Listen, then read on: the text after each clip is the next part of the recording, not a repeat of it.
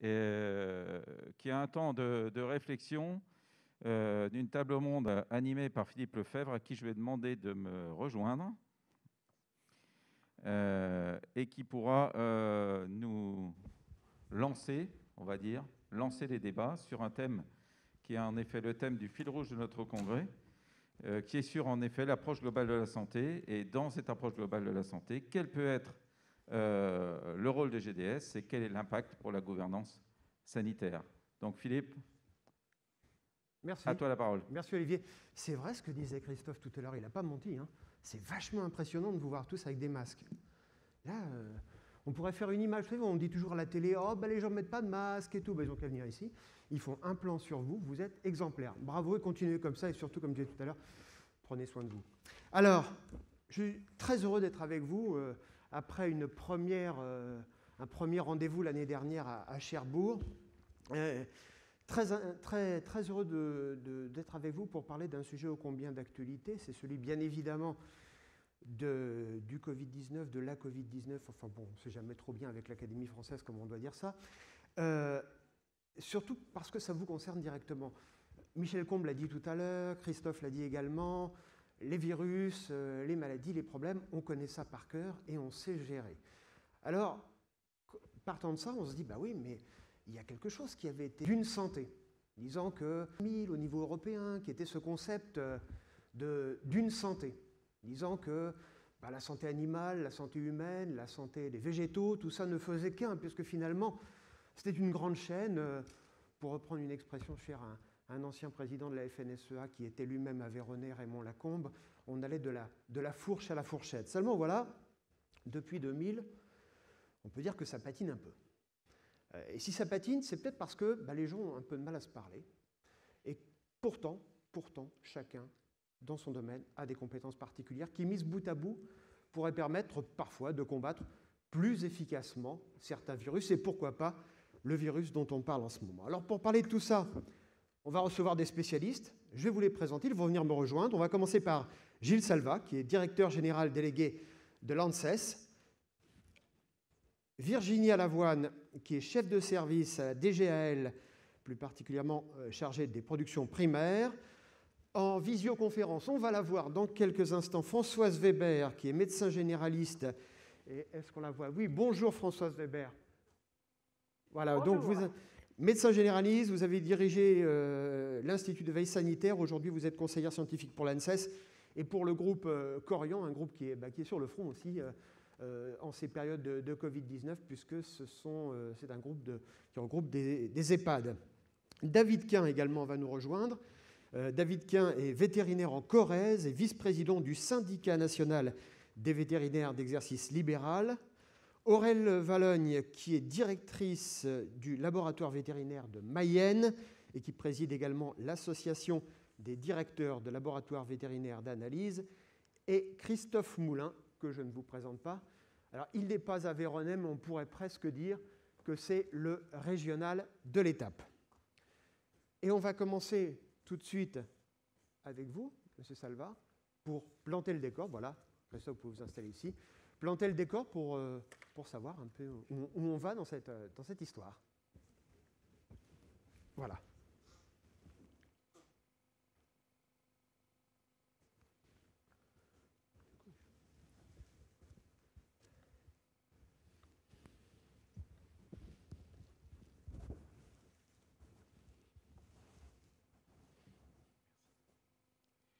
Merci, euh, merci de cette invitation. Et puis, euh, j'ai le, privilège et le redoutable privilège de, lancer les débats autour du concept One Health, une seule santé, et euh, essayer de vous replacer ce concept dans la vraie vie d'une pandémie.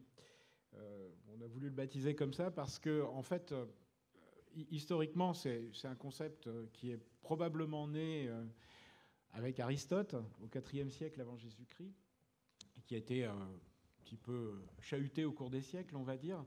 Mais euh, en fait, Aristote, au IVe siècle avant Jésus-Christ, effectivement, a, écrit euh, une partie de, un certain nombre de, livres sur les similitudes entre les animaux et l'homme.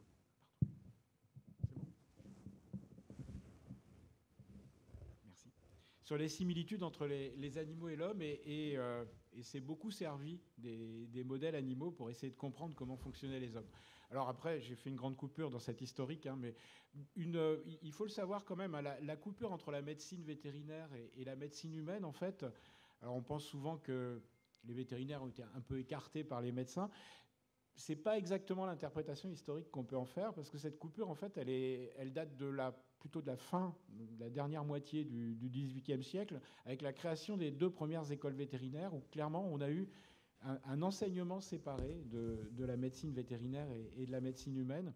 Donc c'était euh, d'abord Lyon et puis, euh, puis Maison-Alfort quelques, quelques années après. Et euh, il y a eu vraiment une, individualisation de, la médecine vétérinaire par rapport à la médecine humaine à, cette époque-là. Alors après, on s'est rendu compte, au cours du, quand on a quand on a étudié les maladies infectieuses euh, à partir de la fin du 19e siècle, qu'on a mieux compris les maladies infectieuses, qu'effectivement l'homme et l'animal euh, partageaient un certain nombre de, maladies, et qu'il était euh, probablement très important de réunir ce domaine de la santé humaine et, de la santé publique vétérinaire, la santé animale d'une manière générale et de la santé publique vétérinaire. Et il y a un des, premiers théoriciens de, de ce qu'on pourrait appeler le One Health, euh, en tout cas de la médecine comparée et de la théorie d'une seule médecine. C'est Calvin Schwab en 1964 qui a, qui a fait un livre qui s'appelle euh, Médecine vétérinaire et médecine humaine, euh, une, une seule médecine. Et le, vrai fondateur de ce qu'on appelle maintenant le concept One Health, une seule santé, c'est Jacob Zinstag et, un certain nombre de ses collaborateurs qui a écrit un livre enfin un article dans Lancet en, 2005, puis, puis des livres sur le, sujet, sur le, formidable potentiel qu'on pourrait avoir en faisant coopérer la, médecine humaine et la santé humaine pour rendre plus forts les, systèmes de santé. Alors, vous pouvez euh, consulter les, ouvrages de, Jacob Zinstag et euh, depuis très récemment, grâce à nos collègues de, l'INRAE et aux éditions Coae, euh, le l'ouvrage Princeps de Jacob Zinstag a été traduit en français.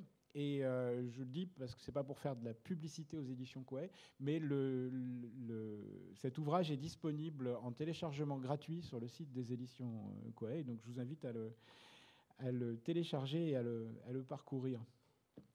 Ce concept, donc One Health, euh, qui a été un peu théorisé par Jacob Zinstag, a été repris à son compte par l'OMS, l'OIE et la FAO et euh, témoignant de la volonté internationale de, faire progresser cette, euh, cette idée. L'idée fondatrice étant que les humains et les animaux partagent euh, effectivement de nombreuses maladies infectieuses. On considère que peu ou prou 60-70% des maladies infectieuses sont communes à l'animal et, et, à l'homme. À peu près 60% des émergences de maladies nouvelles chez l'homme viennent des animaux. Et les animaux et l'homme partagent le même environnement et ça, c'est une préoccupation qui, vient de plus en plus, on, en reparlera, et que si nous travaillons ensemble pour construire une santé unique, en partageant nos expériences, on pourra euh, probablement aller plus vite et plus loin. L'évolution récente d'ailleurs de ce concept One Health, elle va vers le concept One Welfare. Vous savez qu'on a beaucoup introduit la, notion de bien-être animal dans, nos systèmes de production et vous êtes les premiers opérateurs du, du bien-être animal en tant qu'éleveur euh, et, je sais que c'est euh, aussi quelque chose qui, préoccupe euh, GDS France, l'évolution des systèmes d'élevage, d'abord parce que ça va avoir un impact sur, sur le sanitaire de, de nos élevages, parfois un impact positif, ça peut être aussi un impact négatif, euh, enfin en tout cas un impact à surveiller différemment. Quand on met des animaux en extérieur, on a effectivement, tous les éleveurs de bovins le savent, mais, et, d'ovins et, de caprins, mais, euh, mais quand on met par exemple des cochons à l'extérieur ou des poulets à l'extérieur, effectivement on n'est pas... Euh, pas soumis à la même pression microbienne et, ça peut changer pas mal de choses. En tout cas, One Welfare, un bien-être unique pour, pour l'homme et l'animal, c'est un, système qui est en train de, c'est un concept qui est en train de se développer et qui est intéressant parce qu'on a un peu renversé le paradigme. On disait que le premier facteur de bien-être des animaux, c'est leur santé. Et de plus en plus, on dit que on fait plutôt du bien-être pour la santé, et donc on part du bien-être pour arriver, euh, pour arriver à la santé. Et enfin, le dernier concept euh, qui, est issu de ce concept One Health, c'est le concept Eco-Health. On partage le même environnement, et on voit bien qu'un certain nombre de maladies émergentes, elles naissent d'une perturbation des écosystèmes. Alors, ça fait beaucoup de buzz en ce moment sur, sur la Covid-19, on va y revenir. il y a effectivement, très certainement, une émergence de ce type de maladie à partir de bouleversements des écosystèmes, même si on n'en a pas la preuve formelle. Hein. Scientifiquement, évidemment, rétrospectivement, c'est difficile à, c'est difficile à prouver. Séquence d'un virus euh, qui ressemble à la séquence du virus, très fort, hein, la séquence du virus issue d'une chauve-souris qu'on trouve en, zone intertropicale, effectivement, c'est un faisceau de présomption fort pour dire que ce, virus euh, est, probablement issu d'une perturbation. On ne doit pas être en contact avec ces chauves-souris. Probablement un animal intermédiaire. On a parlé des pangolins, mais, mais il y a sûrement d'autres hypothèses.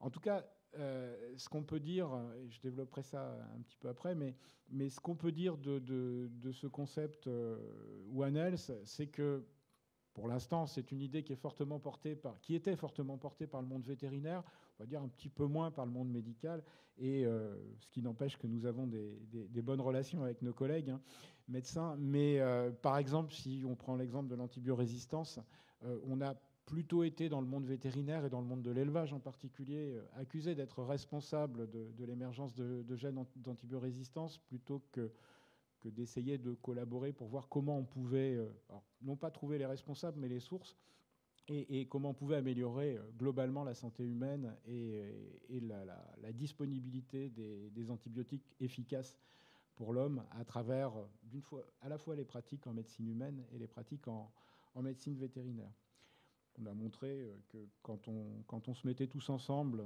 et que, avec euh, notamment le ministère de l'Agriculture, on montait des, plans comme éco-antibio, on était capable de faire progresser les choses très très vite. Quelques mots sur One Health et Covid-19. Alors, la Covid-19 peut être emblématique du One Health, au sens que c'est une, c'est une zoonose. Hein. vous avez un rhinolophe qui est euh, probablement la chauve-souris dont une espèce de chauve-souris dont, dont, sont issus les, les, premiers virus qui ressemblaient à ce coronavirus. Un autre probablement intermédiaire qui a permis de rapprocher. Beaucoup ont parlé des de, l'homme et de, l'adapter euh, un peu mieux à l'homme. Alors, beaucoup ont parlé des élevages industriels. on n'a absolument euh, aucun élément de, présomption là-dessus. Euh, en tout cas, par contre, c'est une maladie qui a émergé dans les écosystèmes intertropicaux, vraisemblablement.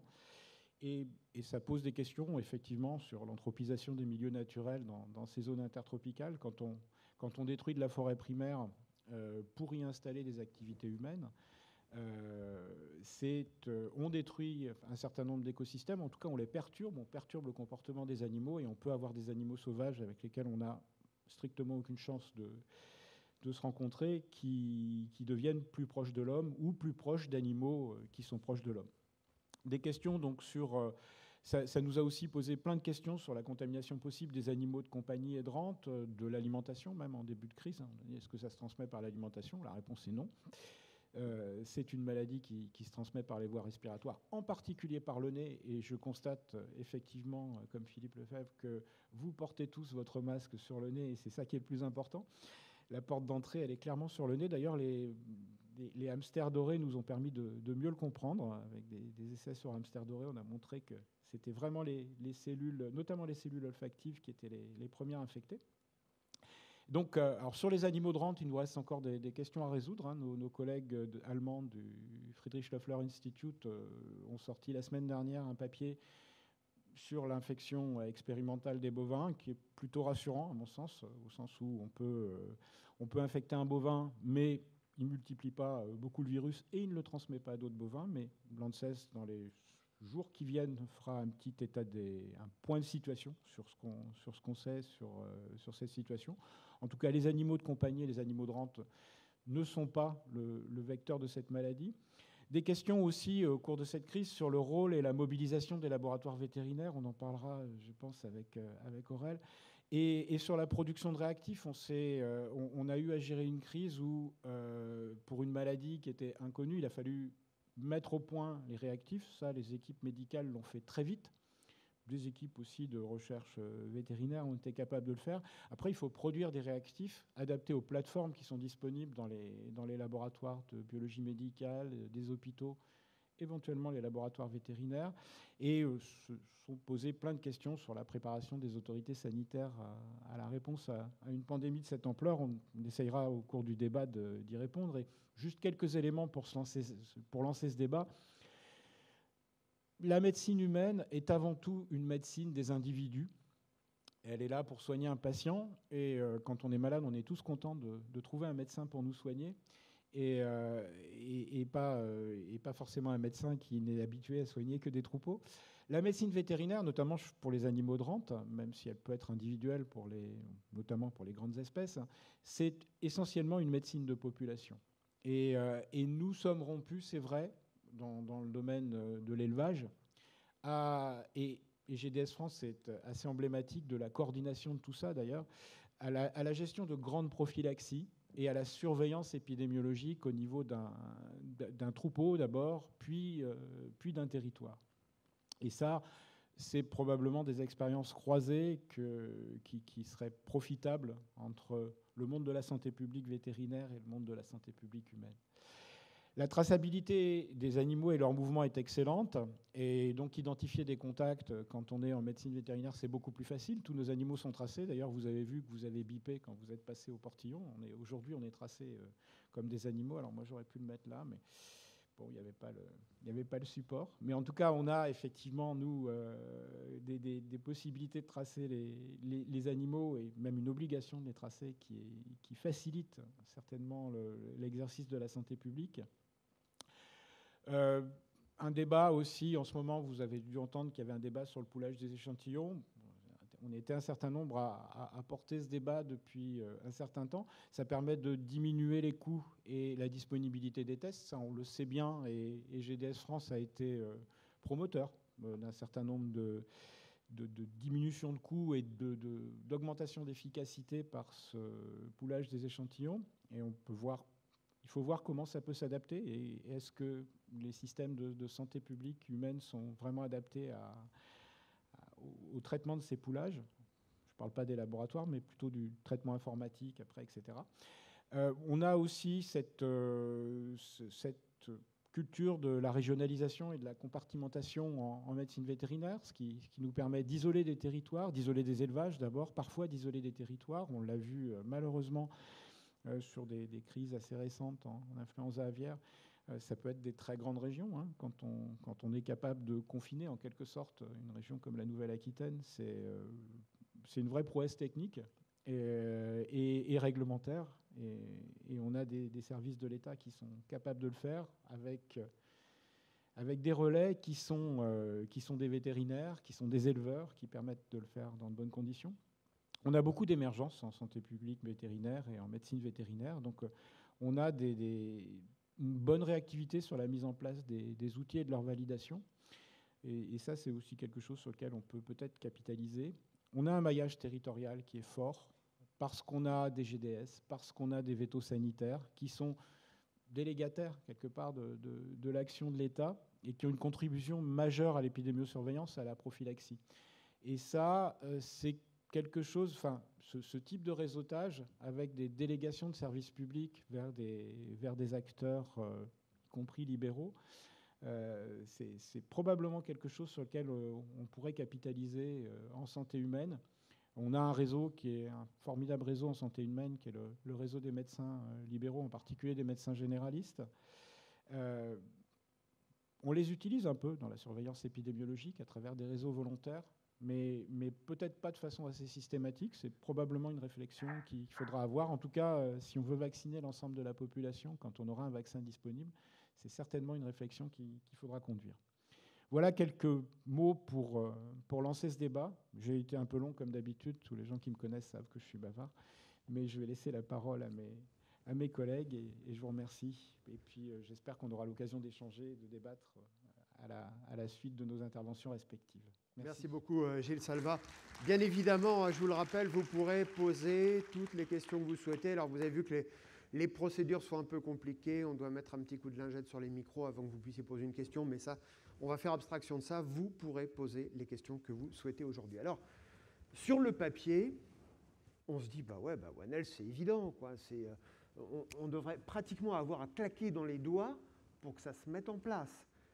Mais on s'est rendu compte, à la lumière de ce qui s'est passé euh, pendant les six derniers mois, que c'est loin d'être simple. On va pas on l'évoquera tout à l'heure, la fameuse polémique sur les tests, quand les, laboratoires euh, vétérinaires ont dit bah, nous on sait faire, on a entendu les laboratoires euh, de santé humaine dire pas question. Moi je voudrais avoir votre avis là-dessus. Pourquoi, pour faire simple, pourquoi ça plante Madame Valogne, vous qui représentez les laboratoires départementaux? Bonjour à tous et merci à Monsieur Combe d'avoir euh, pensé à associer les laboratoires publics départementaux euh, dans cette, euh, question sur le Low Health. Si on revient sur la façon dont ça s'est passé, je pense qu'au départ, il y a peut-être eu, on, l'a déjà signalé, il y a vraiment un cloisonnement en matière de santé au niveau français. Bon, ben voilà, on a, des, caractéristiques et, ça c'en est une de plus. Et sur les territoires, je pense que les gens ne se connaissaient pas les biologistes médicaux et les biologistes vétérinaires ne, se connaissaient pas alors qu'ils étaient sur les, mêmes euh, terres d'activité.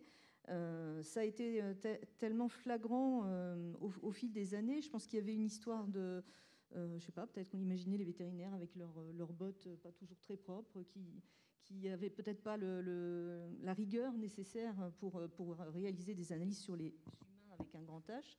Et de notre côté, peut-être qu'on euh, se disait, oh, bah, de toute façon, vu comment ils font leurs analyses en grande quantité, euh, les, laboratoires de, biologie médicale ne sont pas aussi euh, portés sur la qualité que ce que l'histoire a obligé les laboratoires vétérinaires à mettre en place beaucoup plus précocement, puisque dès les années 90, plus précisément vers 95, le ministère de l'Agriculture, qui est quand même un des grands ministères régaliens euh, pour lesquels les laboratoires départementaux interviennent euh, avaient demandé à ce que ces laboratoires, pour qu'ils soient autorisés à réaliser des analyses officielles, soient euh, accrédités, c'est-à-dire ce, que, ce que vous avez subi assez récemment pour être organisme de vocation sanitaire. vocation sanitaire, nous, on, le fait depuis maintenant plus de 20 ans et c'est devenu un peu génétique. Alors qu'on avait l'impression qu'en biologie médicale, ça ne se faisait pas. Bon, ben voilà, le Covid a débarqué là-dessus. Euh, je pense qu'il euh, nous a fallu quelques temps euh, pour apprendre à s'amadouer, à se connaître, à avoir confiance les uns dans les autres sur le territoire. il a fallu l'intervention au niveau national de médiateurs, entre guillemets, de prendre à... Voilà je pense, oui, qu'il était nécessaire euh, d'avoir des traducteurs pour apprendre à, se connaître et à, pouvoir travailler les uns avec les autres. Je salue encore une fois euh, tous les acteurs du, bureau de M. Ferreira parce qu'il euh, a fait partie, avec les gens du MESRI, du ministère de la Recherche et du ministère de la Santé, des, médiateurs qui ont permis la mise en place de l'intégration des laboratoires de biologie, vétérinaire dans ce dispositif. Alors, moi, je voudrais qu'on ait l'avis des deux praticiens. On va commencer avec euh, Françoise Weber. Euh, pendant ces, six mois, on a entendu, y compris les journalistes dans les salles de rédaction ou sur le terrain, des gens qui ont tenu des propos assez durs. On entendait certains généralistes, notamment, euh, pas le dire directement, mais ils nous faisaient comprendre que bon, les vétérinaires, c'était quand même des sous-médecins.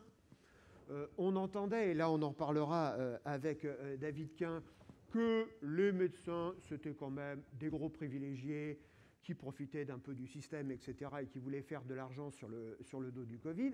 Alors, est-ce qu'il est y, a eu, y a eu une paix? Là, on parlait à, l'instant avec, euh, avec Mme Valogne d'une espèce de, de, médiation, euh, notamment de la DGL. Aïe, vous vous parlez entre médecins généralistes et vétérinaires, Mme Weber?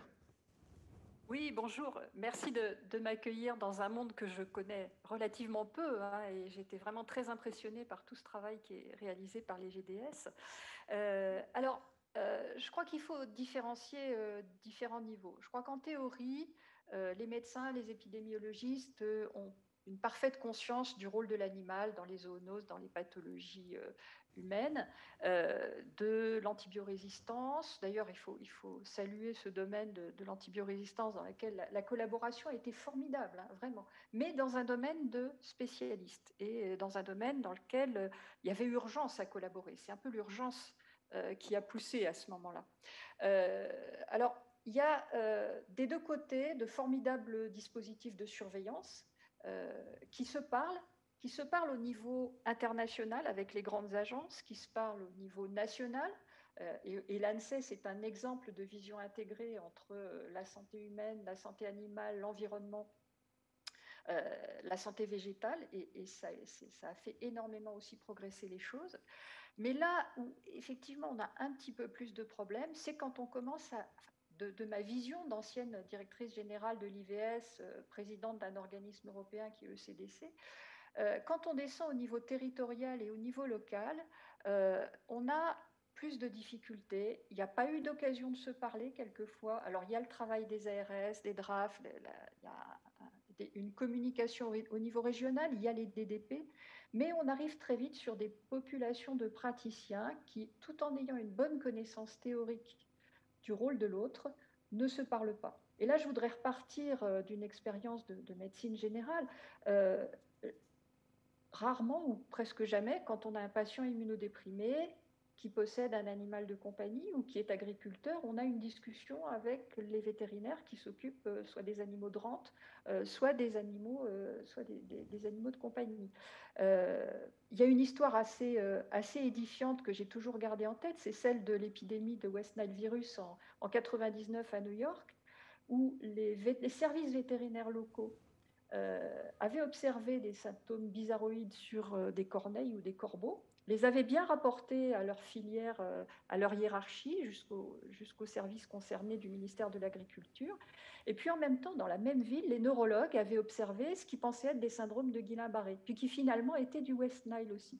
Et euh, le temps que ces deux tuyaux, ces deux silos se parlent, eh ben, il y a eu quand même un certain nombre de victimes. Et finalement, ma question, c'est euh, si on veut que ça si on veut collaborer pour la surveillance, la recherche, les laboratoires, il faut, et Madame l'a évoqué tout à l'heure, euh, il faut vraiment qu'on puisse euh, se connaître dès le départ.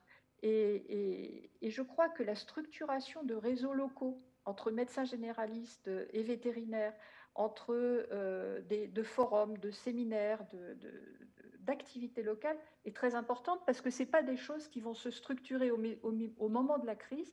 Et on voit bien on voit bien les difficultés qu'on a à structurer les collaborations, à faire qu'une, faut des médiateurs, à faire qu'une cellule de crise ministérielle, départementale, nationale se rappelle qu'il y a d'autres laboratoires, d'autres compétences, d'autres connaissances euh, qui sont susceptibles d'être mobilisées. Euh, donc voilà, moi, ma, réflexion, c'est il y, a beaucoup de progrès à faire euh, au niveau local. Euh, et ces progrès, ils passent par la formation et des activités, euh, je dirais, courantes, communes. Alors, beaucoup de travail euh, sur le, terrain, David K. vous vous parlez, vous par exemple, vous êtes en Corrèze, vous observez quelque chose d'un peu particulier chez un de vos clients éleveurs, vous en parlez avec les généralistes du coin que vous connaissez peut-être, avec qui vous échangez peut-être de, manière différente alors, je voudrais dire deux choses. La première, c'est que je voudrais rebondir sur, ce qu'a dit M. Salva tout à l'heure, quand il a dit que les vétérinaires traitaient beaucoup de la médecine de population. En fait, la médecine de population, quand même, part toujours d'une constatation au départ sur un individu. Et le boulot des éleveurs, en partenariat avec leurs vétérinaires, c'est essentiellement ça. Effectivement, on fait beaucoup de médecine de population, parce que les éleveurs sont la sentinelle dans leur élevage, et en général, quand ils ont quelque chose de on va dire, douteux, quelque chose qu'ils ne reconnaissent pas ou qu'ils n'ont pas euh, reconnu de manière simple, ils prennent contact avec leur vétérinaire. Et notre boulot à nous, dans ces cas-là, c'est d'essayer d'analyser les données qui nous sont données, avec des déplacements des fois, et je suis plutôt fier d'avoir des bottes pas toujours très propres, parce que ça me permet d'être sur le terrain et d'être au contact de ces choses-là, de faire de la médecine individuelle et d'aller vers la médecine de population, quand justement on identifie un risque pour le troupeau, et puis éventuellement pour les troupeaux autour. Et c'est un petit peu le, job que font les éleveurs et les vétérinaires au quotidien ensemble dans les élevages. Par rapport au, relationnel euh, qu'on a avec les médecins généralistes, c'est très individu dépendant. Moi, par exemple, je, travaille dans un petit village de moins de 1000 habitants. Et le médecin généraliste et le vétérinaire, ils se connaissent parce que, ben, à une époque, c'était les notables de la ville, enfin du village. Maintenant, c'est un petit peu plus euh, euh, dilué dans la population, et, c'est bien, mais souvent, c'est de l'individu. Quand c'est un peu plus grand, c'est peut-être un peu plus compliqué.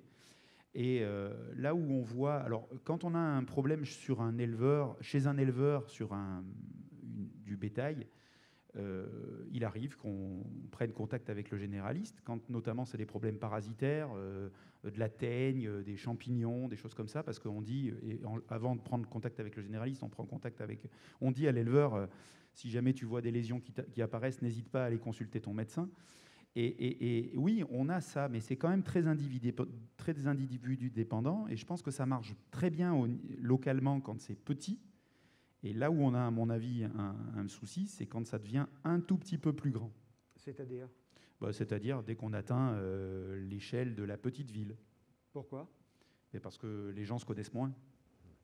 Eh, eh, Christophe, euh, est-ce que ça vous est déjà arrivé, vous, dans votre élevage, bah, d'avoir un problème et puis de se dire, tiens, bah, je vais peut-être appeler mon généraliste, mon médecin traitant habituel, parce que bah, euh, mon, mon, vétérinaire m'a dit des trucs, mais j'ai besoin d'être assuré sur euh, l'impact que ça pourrait avoir sur ma santé, sur la santé de, ma famille Je vous avouerai que c'est peut-être pas courant, mais en réfléchissant, on peut être amené effectivement, comme euh, tu disais tout à l'heure, des problèmes euh, cutanés notamment, parce que quand on est au contact d'animaux, il y a effectivement certaines pathologies qui peuvent se transmettre rapidement à l'homme.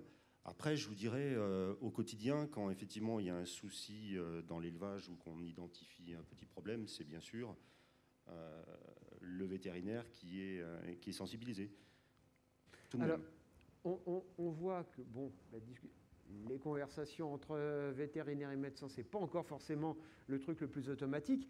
Mais Virginie Lavoine, au niveau des pouvoirs publics, est-ce qu'on ne pourrait pas imaginer un, système, je sais pas moi, informatisé, je vais dire n'importe quoi, mais un système d'application, de, fichiers web, où quand un vétérinaire euh, fait une observation, quand un généraliste fait une observation, tout de suite ça déclenche une alerte chez l'autre, et, automatiser un peu le système. Non, hein, on va vous donner. Hop, voilà, je pense que. Ça y est, c'est bon. Excusez-moi, c'est bon. Ah oui, c'est vrai qu'on n'a pas le droit de changer les micros. Bonjour à tous. Oui, je n'avais pas vu. Bonjour à tous. Euh, oui, c'est, la question des outils que vous évoquez, effectivement, elle est un peu en, elle est très importante. Elle est aussi euh, en filigrane derrière toutes ces, toutes ces connexions qui peuvent exister entre les différents partenaires. Euh, et elle existe aussi entre les différents donc, ministères qui sont en charge finalement de porter cette approche One Health. Parce que voilà, on, a une organisation qu'on peut catégoriser peut-être, caractériser peut-être de silos entre les différents ministères également. Nous, on est la Direction générale de l'alimentation, vraiment qui portons l'approche que vous citiez au début de la fourche à la fourchette, euh, au sein du ministère de l'Agriculture, et la Direction générale de la santé euh, fait partie d'un autre ministère. Donc on a besoin de se parler aussi, nous, entre administrations, et également, comme vous le disiez, de disposer d'outils euh, qui peuvent se, connecter. On a eu le cas, euh, ça a été, enfin l'exemple, je pense, euh, dans le cadre du plan éco-antibio que Gilles évoquait tout à l'heure. On est très rapidement freiné dans l'évaluation des politiques publiques, de l'efficacité des mesures qu'on peut mettre en place et de leur mise en œuvre par des, questions d'outils. Bon, une fois qu'on a dit ça, euh, on le sait, il faut travailler là-dessus. Ce n'est pas, pas une question simple.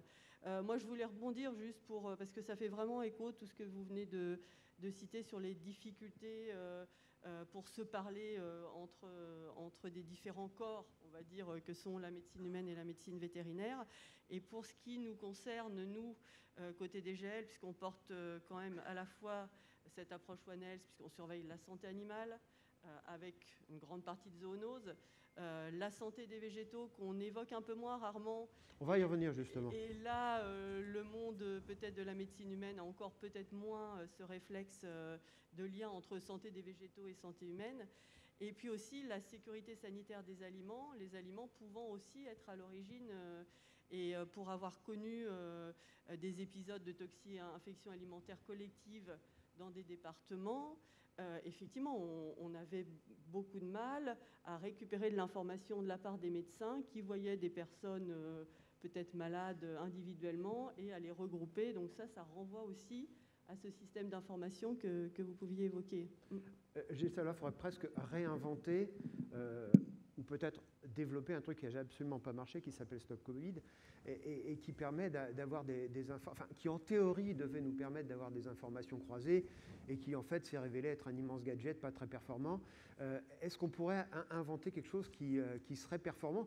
Parce que quelque part, euh, on l'a entendu chez, chez nos amis dans la salle, dans, dans les discussions, hier soir pendant le dîner, je crois que Christophe l'a encore dit tout à l'heure, nous, on est quand même au contact, on sait faire les choses. Donc on pourrait avoir bâtir quelque chose en commun qui serait, qui serait très efficace. Oui, probablement. Alors après, derrière l'efficacité d'applications comme Stop Covid, en soi, l'application, elle est assez fonctionnelle, me semble-t-il. Euh, on a déjà l'expérience d'ailleurs euh, dans nos programmes de recherche d'applications de, ce type, alors pas automatisées, où les gens euh, doivent se géolocaliser, par exemple pour le, signaler les piqûres de tiques. avec nos collègues d'INRAE, on a développé, et de l'école vétérinaire d'Alpha, on a développé une application qui permet à toute personne qui se fait piquer par une tique de signaler qu'elle a été piquée, de se géolocaliser pour savoir. Ce qui nous a permis de savoir que beaucoup de gens, d'ailleurs, étaient piqués euh, dans leur jardin ou dans des jardins publics plutôt que dans les bois. c'est pas aussi, euh, enfin, c'est pas autant dans les forêts qu'on ne le pensait, même si ça reste quand même euh, prépondérant. Donc, enfin, ça, on sait faire. La question après, c'est comment on l'utilise, comment les gens le perçoivent par rapport à leur liberté individuelle, et, c'est complexe. Hein. Euh, j'ai l'occasion de participer à des, groupes d'experts du, Haut Conseil de santé publique où, euh, où, on a beaucoup débattu sur les rassemblements. Alors, je, veux le dire formellement, ce n'est pas nous qui avons décidé de la barre des 5000. Euh, en dessous de 5000, il n'y a pas d'autorisation préfectorale. Au-dessus, il n'y en a pas. Il y en a. Donc, en fait, nous, euh, quand on a rendu nos avis pour savoir comment il fallait se comporter, quelle distance tenir, est-ce qu'il fallait faire des rassemblements de moins de plus de 5000, honnêtement, qu'il y ait 4999 ou 5001 personnes, en termes de risque, ça ne change rien. C'est plutôt la place dont on dispose. Mais mais euh, dans, ces, euh, dans, ces rassemblements, certains d'entre nous avaient émis l'idée que bah, déjà, on pouvait euh, enregistrer les personnes qui venaient à un match de foot, par exemple. Et quand vous allez au match de foot, pour ceux qui vont, vous avez peu de chance pour les équipes de Ligue 1 et de Ligue 2. Si vous n'achetez pas votre billet sur Internet avant, vous avez peu de chance d'avoir un billet. Donc, donc vous le faites. Et, et, là, on vous demande votre adresse mail, votre adresse, votre numéro de téléphone portable, etc. Et et un, certain nombre de réflexions derrière, c'est de dire, ah oui, mais euh, si on demande euh, une traçabilité des gens comme ça, on va atteindre aux libertés individuelles. Euh, sachant que, sachant que les, clubs de foot, ils gardent les coordonnées, sauf si vous dites que vous ne voulez pas les garder, c'est vrai. Hein. Mais, donc on a des systèmes de, traçabilité possibles. La question, c'est de savoir, en termes de droit, qu'est-ce qui est une limitation des, libertés individuelles et, et, on, est dans le droit de l'individu. Et chose qu'on n'a pas en, médecine vétérinaire, parce que parce que c'est vrai que très concrètement, on ne demande pas aux éleveurs s'ils sont d'accord pour faire de la prophylaxie. Si la prophylaxie elle est obligatoire, ils font la prophylaxie. Sinon, ils n'ont pas le droit de commercialiser leurs animaux. Euh, bon, après, il faut dire aussi, euh, juste, euh, c'est pour rire, hein, ne reprenez pas ça. Euh, mais on a aussi un élément euh, en termes de lutte contre les, épidémies en médecine vétérinaire, c'est qu'on peut abattre les animaux contaminés. Évidemment, Évidemment, c'est pas transposable. Pas donner quelques idées à Bolsonaro outre. non, mais évidemment, c'est pas transposable. Mais on peut aussi isoler des animaux plus facilement. On peut contraindre à l'isolement. et, en fait, il y, a vraiment un débat dans la lutte contre les maladies infectieuses aussi, euh, entre la liberté de chacun, la liberté individuelle, le droit de circuler, et effectivement la, sécurité collective. Euh, David, je voyais réagir? Oui. Je, voulais juste dire qu'effectivement, euh, on peut tracer les gens. Mais il y a beaucoup de règlements, il y a le RGPD maintenant quand même, qui, pour les clubs de foot, fait que même s'ils ont les données, ils n'ont pas le droit de les donner pour le coup. Et effectivement, c'est très intéressant parce que j'allais rebondir là-dessus en, faisant le parallèle effectivement entre la médecine humaine et la médecine vétérinaire, où en médecine vétérinaire, on est quand même, et, c'est pareil, là le terme est peut-être pas le bon, et peut-être il faudra pas le reprendre comme ça, mais on est un peu plus répressif qu'en médecine humaine. Puisqu'on parlait tout à l'heure du plan éco-antibio et des excellents euh, résultats obtenus conjointement par la profession agricole et la profession vétérinaire sur ce plan, il y a eu aussi une manière de gérer ça qui était quand même beaucoup plus avec le bâton qu'on ne peut l'entendre euh, en médecine humaine. Et pour le coup, d'ailleurs, les résultats sur l'antibiorésistance en médecine humaine sont, me semble-t-il, un peu moins encourageants qu'ils l'ont été en médecine vétérinaire. Et c'est peut-être aussi parce que la, la, manière de gérer les résultats moins encourageants était peut-être un petit peu moins répressive. Donc je ne lance pas une polémique, mais j'étais à un colloque interministériel et pour le coup, c'est intéressant parce qu'on on, on, dit que les, ministères sont cloisonnés, mais il y, a des choses qui se font. Hein. Il y a un colloque interministériel tous les ans, ou je ne sais pas s'il a eu lieu l'an si l'année dernière aussi. Donc entre le ministère de la Santé, le ministère de l'Agriculture et maintenant il y a le ministère de l'Environnement, donc qui parle de ces problématiques-là sur, sur euh, l'antibiorésistance. Et je, je pense que c'est possible. Il y a aussi des actions locales qui sont faites. Moi, j'ai été sollicité il y a quelques années maintenant et je reçois encore des mails régulièrement et il y a des, trucs qui marchent, alors qui marchent peut-être de manière euh, limitée, mais en tout cas ça marche, sur le, le, rôle des vétérinaires dans la sentinelle sur les violences qui sont faites aux femmes. Parce que les animaux sont, ont été euh, relativement régulièrement euh, repérés comme étant des sentinelles possibles de violences faites aux femmes.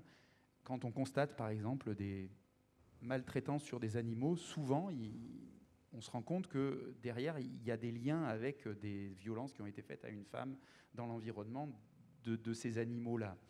Et, donc, je pense qu'il y a des choses qui existent et, localement, il y a des choses qui marchent. Alors après, effectivement, parfois, la communication qui est faite autour de ces choses qui marchent n'est pas suffisamment développée.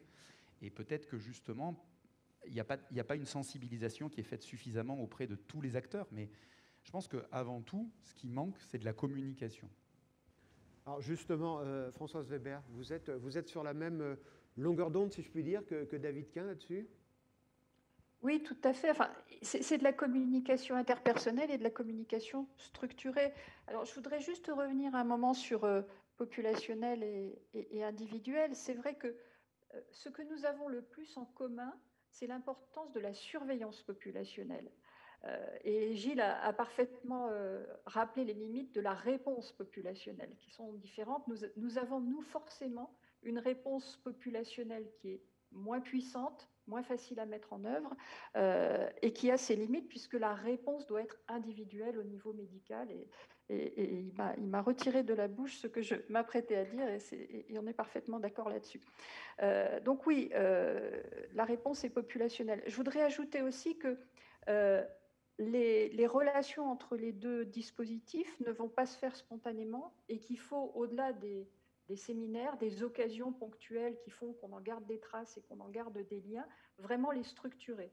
Alors, au niveau national, il y a quelque chose qui est très bien structuré, qui fonctionne très bien, c'est la réunion de sécurité sanitaire qui a lieu tous les mercredis qui rassemble ministère de la Santé, ministère de l'Agriculture et l'ensemble des agences euh, sanitaires euh, nationales. Et ça, c'est quelque chose de remarquable. Alors, ce qu'on avait fait avec Benoît Vallée en 2015, c'est qu'on avait transposé cette réunion de sécurité sanitaire au niveau des ARS, déjà pour progresser sur le plan territorial, pour que tous ceux qui font de la surveillance humaine sur le plan au niveau territorial euh, puissent se parler au moins une fois par semaine. Et ça, c'était quelque chose de, remarquable. Et ma question, c'est finalement, est-ce qu'on peut aller encore plus loin pour, dans la déclinaison de cette réunion de sécurité sanitaire qui est, remarquablement efficace euh, au niveau territorial? Et puis après, sur la réponse, je crois qu'il y a un autre point, mais qui concernera plus euh, nos ministères, c'est penser à associer dès le début, dans les cellules de crise, dans les conseils scientifiques, alors le HCSP l'a fait parce qu'ils avaient déjà l'habitude de travailler ensemble, mais dans les conseils scientifiques qui sont mis en place spécifiquement pour répondre à une crise, euh, la santé animale et, quelquefois la santé végétale. Et ça, c'est des, réflexes qu'il faut vraiment qu'on arrive à, à, planter à, tous les niveaux, euh, à tous les niveaux de l'administration. Et puis peut-être une, petite deux remarques sur les réseaux et sur la qualité. Euh, je crois que sur la qualité des laboratoires, on a une très grande hétérogénéité en santé humaine, c'est-à-dire qu'on a des laboratoires hospitaliers, euh, des laboratoires euh, d'agence qui sont d'un niveau remarquable. Et puis on a la biologie de ville qui souvent, qui pendant il n'y a encore pas si longtemps, faisait des examens de routine et envoyait les autres euh, dans des grands laboratoires centraux. Tout ça est en train de se restructurer depuis 5-6 euh, ans euh, de façon très forte. Hein, tout ça fait qu'on va arriver à, un bon niveau. donc ça, pour, pour, ça, c'est, je pense qu'on est en train de, on est en train de progresser. je ne sais plus quel était mon dernier point. Mais on va peut-être, je vous redonnerai la parole dans, un instant. je, je, sautais sur l'occasion. On parle des labos de ville, des labos vétérinaires, donc on va parler pognon. Euh, on va parler argent parce que ça, c'est quand même quelque chose qui est revenu. Euh, moi, on m'a donné cette explication. Un jour, on m'a dit bah, attendez, si, si, les laboratoires euh, de ville n'ont absolument pas voulu que les laboratoires vétérinaires rentrent dans le jeu, c'est juste une question d'argent. C'est vrai ou pas, Madame Valogne? Certainement que ça a joué. Je pense que ce n'est pas la, seule et unique raison, mais il, il, existe un gap très important entre les réactifs, le prix des réactifs qui, qui sont distribués aux laboratoires de biologie médicale et le prix des réactifs qui sont euh, distribués auprès des laboratoires de biologie vétérinaire. Alors, je vais vous poser des questions toutes bêtes. Que, moi, je n'y connais rien. Euh, euh, ça veut dire quoi? Ça veut dire que le réactif ah, qu'on va utiliser pour un test PCR, par exemple, sur la place Masséna à Nice, il, est il, est mieux, il est plus performant que celui que vous allez utiliser, vous, à Laval Alors, la partie mieux performance, ça c'est géré par le Centre national de recherche. Donc, c'est le même Donc, lui, il va donner des critères pour que les kits puissent être utilisés dans les laboratoires. Donc soit ça va être du marquage chez eux, soit ça va être des essais interlaboratoires que le, laboratoire de référence va pratiquer. Et à partir du moment où il va sortir sur la liste des kits autorisés, euh, les kits sont autorisés, nous, derrière, que ce soit en laboratoire de biologie médicale ou en biologie vétérinaire, on ne va pas se poser de questions, on va les utiliser. Donc on va partir du principe parce que là, il y a eu le, ça a été un peu la course et on n'a pas eu le temps de faire de, de comparaison inter-kits, qui sont à peu près tous avec les mêmes euh, avec les mêmes efficacités. On est avec des spécialistes ici, vous savez que ce n'est pas tout à fait le cas, hein, parce qu'avec des maladies qu'on connaît beaucoup et sur lesquelles on a beaucoup travaillé, on sait bien que les sensibilités, spécificités des kits, c'est des critères très importants. Là, on était en temps de guerre, il n'y a pas eu le temps de faire toute cette approche que l'on fait habituellement pour les kits en santé animale. Donc, euh, je, je ne vais pas partir sur. Il y en a qui sont meilleurs les uns que les autres. En tout cas, le prix. Mais il y en a qui sont moins chers que les ah, autres. C'est du simple au quadruple. Hein. Ah, c'est combien un test PCR Par exemple, vous, vous faites, euh, vous avez les animaux euh, chez vos clients, vous faites des tests PCR, ça coûte combien? Alors, moi, je fais les prélèvements pour faire des tests PCR. Je ne fais pas les tests PCR moi-même. Hein, j'envoie ça au Globalement, un test. Ouais, non, mais c'est du... Là, les, les prix. C'est combien? Ouais, non, les, prix pratiqués en médecine vétérinaire, c'est affolant. Euh, en médecine euh, humaine, c'est affolant. Moi, je, n'avais jamais signé un bon de commande. Euh, lorsque j'ai signé mon premier bon de commande pour des kits d'extraction Covid et d'amplification Covid, j'ai failli avoir une attaque. Bon, après, il y, a des recettes derrière, on est d'accord, mais je pense que c'est une, habitude qui a été prise et les tarifs qui sont pratiqués en biologie médicale ne sont bien évidemment pas ceux qui sont pratiqués en biologie vétérinaire, mais tout simplement parce que, au fil des années, les éleveurs n'auraient pas eu les moyens de pratiquer toutes les prophylaxies qui ont été faites si de tels tarifs avaient été pratiqués. C'est une simple question de bon sens. On n'aurait pas pu faire des tests à 54 euros le bovin. C'était, c'est bon, ça. Donc, si je comprends bien, on pourrait, quand vous allez faire votre test dans un euh, PCR dans un laboratoire de ville, on pourrait vous offrir un café, parce que vu le prix qui est pratiqué. Euh, ils font de la marge. Je, je, pensais plus compliqué que ça. Là-dessus, c'est vrai qu'il y a un gros différentiel de prix. En gros, enfin, si, si, un test PCR est à plus de 30 euros en médecine vétérinaire, euh, juste il se vend pas. Bah, On fait pas. Euh, parce que, enfin, derrière, l'éleveur est pas, le consentement à payer est pas là. Donc, euh, il faut, il faut aussi en tenir compte. Après, pour diminuer les coûts aussi en médecine vétérinaire, on poule des échantillons, toujours dans cette approche de troupeau, ce qui est difficile à faire en médecine humaine, même si le débat est relancé là depuis une semaine. Euh, alors pourquoi c'est difficile à faire? Parce que le, système informatique d'un labo hospitalier ou d'un labo de biologie médicale, il est capable d'enregistrer un patient, mais pas un pool. Un pool, c'est un truc, c'est une entité qui n'existe pas. Il ne va pas pouvoir retrouver facilement. Alors il peut le faire, il faut qu'il fasse une feuille Excel avec euh, le nom des patients et puis le nom du pool, etc. C'est chose que les, laboratoires d'analyse vétérinaire ont des logiciels de gestion de leur, euh, de leur laboratoire qui permettent de le faire, puisque c'est la demande de leurs clients. Donc, euh, l'autre chose qui fait la différence de prix, aussi, il faut le dire, hein, c'est que le diagnostic PCR en médecine humaine, en dehors du temps de crise, c'est euh, trois diagnostics d'hépatite B par jour dans un hôpital, euh, un diagnostic de, je sais pas, enfin, d'une autre maladie, etc., pour un patient. Et donc, c'est des barrettes individuelles qu'on met dans une machine dédiée. Qu'est-ce qui coûte cher là-dedans? C'est le brevet et le plastique. Et donc, voilà, on vend du plastique. Après, euh, en médecine vétérinaire, nous, on travaille sur des formats euh, plaques 96 puits, c'est un format un peu universel. On a plein de robots pour distribuer les, les échantillons, pour distribuer les réactifs si on veut. Ça permet d'automatiser les choses. Mais par contre, c'est bien quand vous avez 92 euh, parce qu'il y a quelques témoins, en gros, on traite à peu près 90-92 échantillons. Si vous avez 92 échantillons dans la journée, sinon vous allez lancer la plaque et là vous allez dépenser beaucoup d'argent parce que si vous mettez qu'un test dedans, ce n'est pas rentable. Donc il y, a, aussi des, choses qui sont liées aux contraintes de tous les jours. Et tous les jours, les médecins, ils font de la médecine individuelle parce que quand on va voir le médecin, on va avoir un diagnostic individuel, on ne veut pas savoir de quoi est malade le voisin. Euh, et, là, en période de pandémie, on a besoin de diagnostics collectifs. C'est pour ça qu'il ne s'agit pas de dire qu'il faut que les médecins fassent que du diagnostic collectif, parce que demain, on n'en aura plus besoin. Mais par contre, qu'on utilise les compétences des uns et des autres pour rapprocher les systèmes et, avoir une réponse de l'État et une réponse de santé publique qui, qui apporte les, les réponses à la fois à Santé publique France pour faire la surveillance, à la fois au ministère de la Santé pour savoir où est-ce que ça bouge et où est-ce que ça va commencer à être rouge, et, à la fois à chaque individu pour dire bah, moi je suis positif, mon voisin ne l'est pas, mon fils ne l'est pas, etc.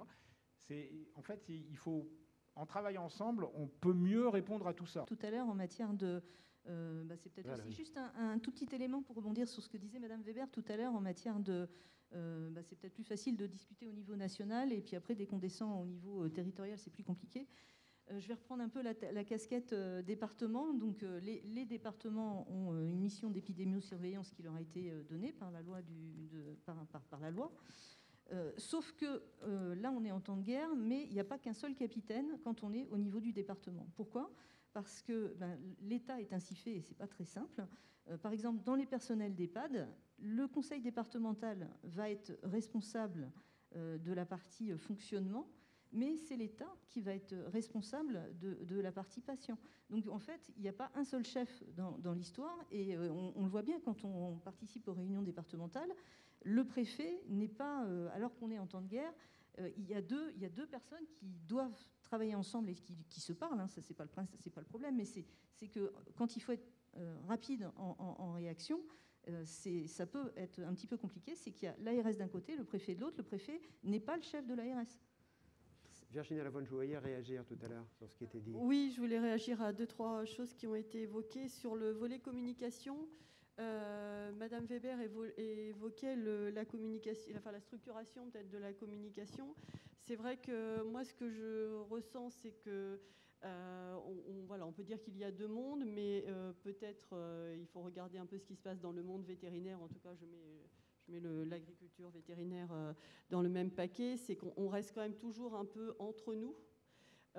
et donc, nous, ce qu'on souhaitait, alors on a un, une structure de communication qu'on appelle le Comité national d'orientation de la politique sanitaire, animale et végétale. Donc rien que ça, on voit qu'on reste vraiment dans, voilà, dans un domaine particulier. Et euh, la crise nous a fait réfléchir et on s'est dit, cette approche One Health, il faut vraiment qu'on la porte aussi, euh, bah, peut-être au travers de ce comité qui, regroupe tout, santé animale, santé végétale, et donc pourquoi pas avoir des débats au sein de ce comité en matière euh, de santé humaine. Et puis aussi, nous, on se dit, appuyons-nous sur des structures qui existent. Donc voilà, donc ça, c'est quelque chose qu'on porte pour répondre un petit peu à ce que disait euh, Madame Weber sur, sur ce volet structuration de la communication. Ne restons pas entre nous et essayons de, voilà, de, s'appuyer sur des structures existantes en les ouvrant euh, à d'autres sujets. la communication, alors il y a la structuration, il y a effectivement cette communication de tous les jours, au jour le jour, et puis alors, il y a, eu l'approche, euh, je ne sais plus qui a parlé, c'est Gilles qui vient de parler de, cette approche un peu intégrée. Euh, on l'entend vraiment comme, et c'est ce que tu as dit Gilles, euh, faire travailler ensemble les différentes compétences. voilà, chacun a ses compétences. C'est vraiment la mise en commun de ces différentes compétences qui constitue l'approche intégrée. Et c'est aussi ce qu'on porte, ça a été évoqué ce matin, dans le cadre de, la, gestion de la gouvernance sanitaire. Euh, alors là, on rentre un peu plus avec un focus euh, euh, santé animale, voire santé végétale. Tout le monde ne peut pas tout faire. Chacun a ses compétences, les médecins, les vétérinaires. Et ce qu'il faut, c'est vraiment les, réussir à les mettre ensemble. C'est pas simple, c'est facile de dire ça, mais plutôt que de vouloir tout faire, voilà, c'est pas possible. Moi, je veux pas faire ça. Bien évidemment. Pas soigner les gens. D'ailleurs, il faut, bien rassurer vos collègues, hein, les généralistes, vous n'allez pas soigner les gens et, les généralistes ne viendront pas soigner les troupeaux de, bêtes à cornes sur, je crois dans pas je ne crois pas qu'il y ait beaucoup de volontaires ni dans un sens ni dans l'autre. Et d'ailleurs, je crois que même au niveau des, tests, Madame Valogne, il y, a, il y a une limite de compétences il y a euh, l'analyse, le fait de mettre les tests, de faire les trucs dans les grosses machines qu'on a vues à la télévision, et puis après, de tirer des conclusions des données de la machine. Voilà. Dès, que, dès que l'épidémie a fait rage et qu'on a vu qu'il y aurait peut-être besoin de faire appel à des analyses en grande quantité, bien évidemment, les labos départementaux euh, ont fait savoir que ben, c'était leur métier, parce que pour, pour mémoire, je pense que dans, dans la salle, vous êtes... Euh, vous, devez, vous, devez, pour certains vous en rappeler, mais qu'il y avait quand même pas mal de jeunes, donc j'aime bien un peu faire un peu d'histoire, ça permet de savoir euh, d'où on vient pour savoir où on va. Euh, si les labos départementaux se sont développés, c'était aussi parce qu'à la fin de la Deuxième Guerre mondiale, la population mourait de faim. Et finalement, les animaux étaient dans les exploitations, sauf que bah, la viande n'arrivait pas jusqu'à l'assiette. et à ce moment-là, il a été décidé au niveau national de, créer ces fameux laboratoires vétérinaires départementaux, devenus pour certains ben, fermés déjà euh, pour certains, ou euh, regroupés euh, pour d'autres, passés en SEM, en EPIC, enfin bref, peu importe, mais pour, l'essentiel, ils sont encore toujours présents sur vos territoires. Ils étaient là pour aider le ministère de l'Agriculture et donc les éleveurs, vous, à, soigner les animaux dans les exploitations, enlever, éradiquer les grandes pathologies, vous c'est Donc aujourd'hui, les, les, labos, les, départementaux euh, utilise des kits euh, RT-PCR, mais c'est la recherche du virus, le message génétique. Donc en fait, y a, euh, ça peut se faire aussi bien sur un écouvillon d'origine animale que sur un, écouvillon d'origine humaine. Je ne sais pas si c'était l'objet de votre question. C'était ensuite, tu sais, l'analyse, le résultat, une fois que, le, que tout est passé dans la machine, c'est pas vous qui allez tirer les conclusions. il y a trois phases dans l'analyse la partie prélèvement, la partie analytique et la partie interprétation de l'analyse. Et dès le départ, au niveau des LDA, on a dit c'est de la biologie humaine. C'est pas nous qui allons faire euh, l'écouvillonnage, laboratoires départementaux, et c'est pas nous qui allons faire l'interprétation. Nous sommes qu'une aide à l'interprétation. On va gérer la partie analytique, et donc c'est bien avec une convention qui se fait soit avec un centre hospitalier, soit avec euh, un laboratoire de biologie médicale qui gère la partie amont et aval de ces analyses. Christophe, moi j'ai une question à vous poser parce que là on a vu hein, comment tout, tout, se partageait un petit peu, les vétérinaires, les généralistes, euh, les laboratoires publics, privés, et j'allais dire, et GDS dans tout ça. Parce que quelque part, vous, vous avez le maillage du terrain, vous connaissez le terrain, vous, vous avez une force de frappe qui est quand même importante. Euh, euh, on a on n'a pas le sentiment qu'on vous a encore vraiment associé dans cette, dans cette guerre ben, Pas associé. enfin, ce, qui est, ce qui est très intéressant, c'est que les débats qui ont été lancés entre une, une, gestion du sanitaire des populations, une gestion euh, plutôt individualisée. On a parlé de périodes entre guillemets de paix, on a parlé des périodes de guerre, on a parlé de toutes ces choses-là. Mais si je me retourne vers euh, les éleveurs et les, présidents de GDS, mais c'est tout ce qui a été monté, c'est tout ce qui a été anticipé depuis euh, des une cinquantaine d'années. À l'échelle, vous faisiez référence effectivement à l'origine, eh bien oui, il y avait des pathologies euh, d'élevage, des, des, vrais, que ce soit tuberculose, on va parler des puisque la tuberculose est encore présente, mais de fièvre afteuse, on avait quand même des sujets très très importants qui impactaient considérablement l'élevage. On était sur l'élevage, on était sur l'économie, on était sur la ruralité. On était sur euh, un domaine qui était exclusivement, euh, à l'époque, c'était quand même assez animal. Et tout s'est construit, tout s'est construit par bah, déjà d'une part euh, bah, évaluer des kits, donc c'était de la recherche, ça a été euh, du travail avec les laboratoires, ça a été euh, une phase de communication, une très grande communication auprès des éleveurs, puisqu'il fallait aller, comme dans les années 50, dire Monsieur, Madame, vous avez des animaux qui ne peuvent plus répondre et qui sont contagieux et qui donc il fallait et ça m'a fait sourire quand tu l'as dit. C'est vrai que les animaux, c'est facile de les abattre. Et pour la petite histoire, c'est pas certain que ça dure bien. Ça va pas durer. Donc on, sera là, je pense, pour trouver des solutions. Parce que des solutions, il y en aura aussi. Il y a des animaux, effectivement, qui vont être indésirables dans telle ou telle euh, structure. Mais bon, c'est un autre débat.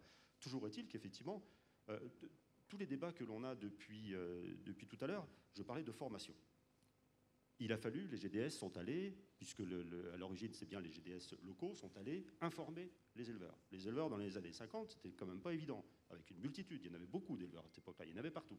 C'était de l'information. J'ai été stupéfait, je l'ai évoqué un petit peu tout à l'heure euh, au micro, euh, sur la réactivité de notre monde, de notre monde d'éleveurs face à cette crise. C'était la période de guerre qui arrivait. La Covid est annoncée, c'était la période de guerre. On sait ce qu'est la circulation virale dans des populations, qu'elles soient humaines ou animales. Euh, les éleveurs, on, le savait. J'ai dit pour la petite parenthèse qu'on avait euh, anticipé quelque part les annonces euh, ministérielles en disant mais là on ne maîtrise pas, on rentre chez nous, on se protège. Après, il y a différentes voies de vaccins derrière, on sait le temps de développer des vaccins, donc on dit c'est pas pour demain, donc barrières sanitaires, etc. Limitation des mouvements.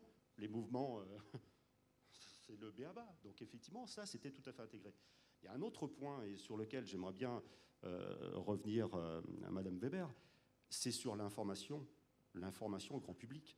J'ai été effaré, nous avons tous été effarés, nous éleveurs, euh, d'entendre sur des grandes chaînes des débats en mélangeant tout type d'analyse entre une séro, une viro, on ne sait plus ce qu'est un virus. Ça a été un petit peu du grand n'importe quoi. Et on s'est dit, à un certain moment, après il y a eu des relais et on s'est dit, nous, euh, enfin quand je suis rentré moi euh, dans mon département où on a pu échanger avec des voisins à distance, euh, et bien tout ça, mais tout le monde le disait, mais on sait ce que c'est bon. faire de la viro là, est-ce que c'est judicieux C'est peut-être de la viro. Il faut qu'un certain pourcentage de population pour lutter contre un vaccin, pour lutter contre une contre un virus puisse éventuellement être au contact. Voilà, l'immunité, ça parle à tout le monde. Donc on a vraiment l'impression qu'il y a, en matière de, communication grand public, euh, eh ben, il y a eu quand même une grosse, euh, une grosse pénurie. Et je trouve qu'aujourd'hui, en santé animale, on est tout à fait prêt et on doit s'y préparer parce qu'on sait ce qu'il y a derrière aussi. Derrière, on est au contact de, de, l'environnement, des animaux, de la faune sauvage. On sait tout ce qui peut arriver derrière. Donc quelque part, on, on a ce rôle-là, on le sait pertinemment. Mais vraiment, ce que l'on a constaté, c'est que ben, ça passe par une information grand public, vraiment information plus large, grand public. Euh, justement, Françoise Weber, euh, pas, simple de communiquer euh, avec le grand public, c'est plus compliqué qu'avec des professionnels qui ont déjà l'habitude, et, notamment hein, dans le monde de l'élevage, hein, les virus, ils savent ce que c'est, parce que le grand public, il n'a qu'une envie, c'est lui dire que bah, demain, tout ira mieux. Donc il écoute... Oui, tout à fait. Pardon. Je vous en prie. Oui, tout à fait. Et, le, la, grande différence, c'est que les éleveurs sont habitués à une série de mesures qui sont parfois dramatiques, mais qui sont à peu près toujours les mêmes. Là, on arrivait avec une pandémie, euh, sujet qu'on n'avait pas connu depuis 1918, euh, une pandémie H1N1 qui s'est révélée ne pas être ce que l'on pouvait craindre, parce que, ben voilà, heureusement, de temps en temps, euh, les, modélisations rendent compte du modèle du pire modèle, et heureusement, il ne se réalise pas toujours. Et donc, on avait l'impact de la communication. Voilà, oui, quand on commence, quand on commence à parler de communication, ça saute généralement. Voilà. vous m'entendez? Voilà, on vous entend. Est-ce que vous m'entendez? Voilà. Non, ben on vous entend plus. Donc, c'est euh, moindre communication. Ah, Bon, on, va vous, on, va vous, retrouver dans un instant, on va essayer de voir. Euh, dès qu'on parle de communication, généralement, il y a SFR, Free, Bouygues, euh, Orange qui s'y mettent pour nous prouver que ça ne marche pas. Euh, David Quin. Oui, je voulais dire ce qui a été dit là très exactement, c'est qu'en fait, GDS, puisque vous posez la question du rôle de GDS, GDS, c'est une association d'éleveurs, de professionnels qui s'est constituée pour anticiper dans l'intérêt de ses adhérents et de la population au-delà. Mais au départ, c'est quand même les éleveurs sont des professionnels qui vendent leurs produits. Et ça a été continué comme ça. Et effectivement, aujourd'hui, on n'a pas d'équivalent en humaine. Et aujourd'hui, on parle à des profanes, pas à des professionnels qui n'ont pas les compétences qu'ont les éleveurs dans l'analyse et dans l'intérêt, dans euh, le leur dans un premier temps, mais aussi pour arriver à aller de la fourche à la fourchette, comme vous le disiez tout à l'heure, comme ça a été dit tout à l'heure. Et, effectivement, on n'a pas d'équivalent. C'est un peu comme si euh, l'UFC que choisir ou 50 millions de consommateurs, 60 millions de consommateurs, maintenant ils sont 60. Hein. Ils en sont 60. Ils en sont 60, mais 60 millions de consommateurs se constituaient en disant bon, quel est l'intérêt de la population? Comment on fait pour se constituer et pour prévenir les risques sanitaires? Évidemment, c'est pas le bon, c'est des consommateurs. Mais, mais, il faudrait ce genre de, de, de, domaine, enfin d'association équivalente qui n'existe pas. Et, et, il faut tirer sur GDS ils ont anticipé ça. Et, la constitution de GDS a permis justement d'arriver à avoir un discours qui n'est pas toujours euh, accepté par enfin accepté, si, il finit par, toujours par être accepté, mais qui n'est pas toujours bien pris par les acteurs de terrain qui voient une contrainte. Et, voilà. Et, on en revient finalement à, ce qu'on disait tout à l'heure sur la privation de liberté de la population française qui dit Ah oui, mais moi je veux pas être tracé, je veux pas massin. les éleveurs, ils sont parfois pas d'accord, mais ils comprennent que c'est dans l'intérêt collectif et ils sont un peu plus disciplinés parce que c'est des professionnels et qui, qui savent que c'est l'objectif final, c'est d'arriver à ce que tout le monde s'en sorte. Et effectivement, on n'a pas cet équivalent en, de, en population euh, générale. J'ai Salva. Alors, c'est vrai qu'on n'a pas du tout cet équivalent en population générale, mais on voit bien que sur les maladies dans lesquelles ça, a existé ça continue à exister. Par exemple les associations de patients qui, ont été touchés par le sida ou qui sont dans des populations à risque. Euh, ces, ces associations-là, par leur action collective, elles ont fait beaucoup progresser la connaissance, la recherche et les moyens de lutte. Le diagnostic aussi, hein, c'était les premiers à promouvoir les, diagnostics euh, rapides. Euh, les, tests euh, quasiment euh, instantanés, et euh, quand ils ont existé évidemment, mais, en assurer la promotion et la prévention évidemment. Et, sur des maladies particulières, les associations de patients ont un rôle essentiel.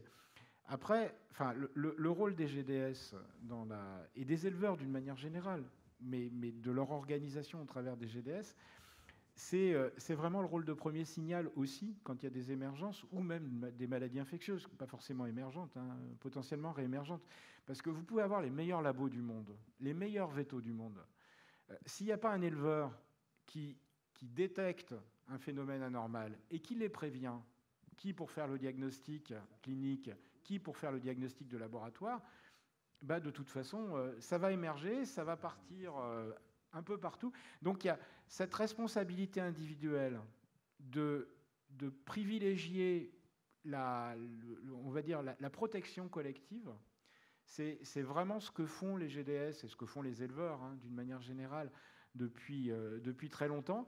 Et, on voit bien que quand on a des démarrages de, de Panzo aussi, notre côté vétérinaire, qui ne se passent pas bien, où on a beaucoup de foyers euh, un peu partout, au départ, il y a souvent un signal qui a été mal adressé euh, ou qui a été euh, un petit peu oublié, hein, et parce que c'est pas toujours facile de déclarer une maladie hein, euh, pour un éleveur, enfin de déclarer une maladie de son, cheptel, enfin, ou de déclarer une suspicion.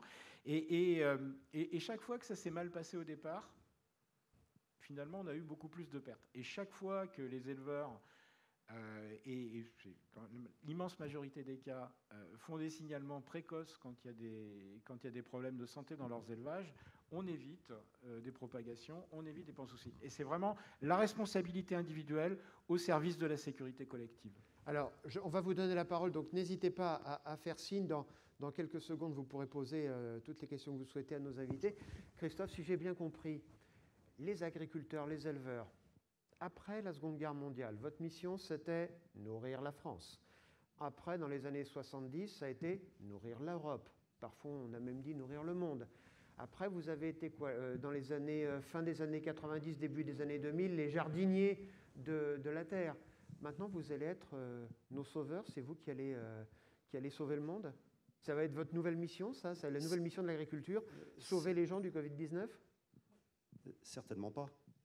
Mais nous sommes les remparts. C'est le rempart, en fait, avec, euh, là je me retourne vers, vers tous les éleveurs, on endosse euh, maintenant, enfin on l'avait déjà identifié, mais euh, sur un concept tel que l'on a aujourd'hui, c'est-à-dire que nous sommes sur le terrain, donc au contact, nos animaux sont au contact de la nature, que de tous éventuels pathogènes circulants qui peuvent arriver nos élevages, qu'ils soient, euh, qu'ils soient euh, clos euh, ou, en liberté. On a les petits vecteurs. Là, on n'a pas trop parlé de, transmission, et notamment de, vecteurs, tout ce qui est insectes, etc., etc. Très, très, très important. nous sommes, nous aussi, peut-être le vecteur également, puisque nous avons quand même des activités, nous ne sommes pas toujours que dans nos troupeaux, mais nous avons aussi des contacts avec nos concitoyens. Donc nous pouvons être considérés exactement comme bah, des personnes hautement sensibles, il y a d'ailleurs euh, dans certains États où, quand on mentionne que l'on est bien éleveur, c'est pas évident. Hein. quand on va sur le continent américain, on est regardé un petit peu plus sérieusement que tout le monde. Voilà, c'est pour.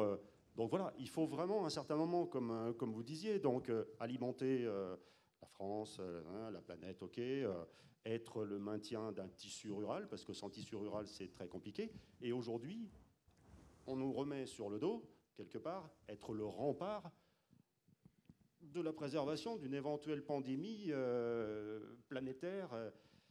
Eh bien, euh, oui, on, peut l'accepter, mais à quel prix? Parce que c'est très lourd sur les épaules tout cela. Donc, enfin, on a pu euh, en parler. Je, je pense qu'on on aura l'occasion d'en reparler dans la, gouvernance pour pouvoir arriver à soutenir effectivement ce, modèle-là qui, qui est, incontournable. De toute façon, il y aura toujours ce lien-là. Il y aura toujours ce lien-là. Et je voulais euh, compléter tout à l'heure, où on a peut-être un petit peu oublié, c'est quand même toutes ces grandes prophylaxies qui ont été mises en place. On n'est pas effectivement dans le... On a un cas, on a tous les systèmes, euh, les plateformes euh, épidémiaux qui vont remonter très rapidement. Voilà. Là, on l'a. Mais on a aussi la surveillance. Attention, c'est qu'on sait qu'éradiquer de la planète une maladie, c'est. Bon, il y a quelques exemples, mais, mais, non, il y a toujours cette surveillance qu'il faut avoir, avec des pratiques qui sont tout à fait. avec des, des abacs qui sont tout à fait euh, calculables en disant bah, il faut tant d'individus pour, euh, pour considérer qu'une population euh, subit ou pas telle ou telle pression. C'est vraiment très très important. Et ça, c'est le travail que l'on fait, c'est la surveillance. La surveillance, où on a, je pense, pas suffisamment parlé. Et là, la surveillance dans le domaine humain, enfin, je ne veux absolument pas y aller parce que je n'ai pas ces connaissances-là, mais moi, je dis souvent, et j'arrêterai mes problèmes là-dessus, mais je connais bien mieux l'historique de tous mes animaux avec le carnet sanitaire, avec bah, l'identification, que moi-même, mon état où, ou mes vaccins, est-ce qu'ils sont toujours à jour? Extraordinaire, quand même extraordinaire. Virginie à la voix. Oui, oui. Bah, euh, Christophe m'a un peu enlevé euh, les mots de la bouche, mais c'est bien, c'est qu'on est, euh, sur la même ligne. Effectivement, cette surveillance, elle est fondamentale. Enfin, c'est vraiment le, la base de, de, tout, de toute mesure, de toute action collective en matière sanitaire, que ce soit en médecine humaine et en médecine animale. Euh, en médecine vétérinaire. Et c'est vrai qu'en médecine, en santé animale, euh, on a atteint un, voilà, un degré euh, d'organisation en termes de surveillance qui est quand même assez avancé. En santé des végétaux, j'y reviens parce que c'est quelque chose qui, me tient à cœur. On a un système aussi, mais qui est basé, voilà, dans lequel on souhaite il faut que les professionnels s'emparent un peu plus de ce sujet. En médecine humaine, c'est vrai qu'on se heurte peut-être euh, bah, voilà, à des difficultés d'organisation qui sont pas, c'est pas du tout reproductible. Euh, et, c'est aussi ce que je voulais dire, c'est que euh, on ne peut certainement pas reproduire ce qui existe dans l'un ou l'autre des deux domaines, mais ce qui est bien, c'est de comprendre pourquoi c'est différent. C'est justement, ça peut faire émerger peut-être des solutions. autre point que je voulais aussi dire, c'est que on a parlé surveillance et le corollaire aussi, c'est la biosécurité. Et euh, cette biosécurité, on l'a tous là, en mettant un masque, euh, on se protège. Euh, en médecine, enfin en santé animale, un peu moins en santé végétale, on a acquis déjà une expérience en matière de biosécurité. du fait des différentes pandémies qu'on a eues, je pense à, enfin des, des aussi qu'on a eues, je pense à l'influenza aviaire. On a encore des progrès à faire, mais ça aussi c'est vraiment quelque chose qui, voilà, qui existe en santé animale, euh, en santé humaine, c'est vrai qu'on voilà, la, biosécurité, le port du masque, euh, notamment chez nous en France, c'est quelque chose qu'on a découvert. Tous ces gestes barrières, ça a été un peu nouveau.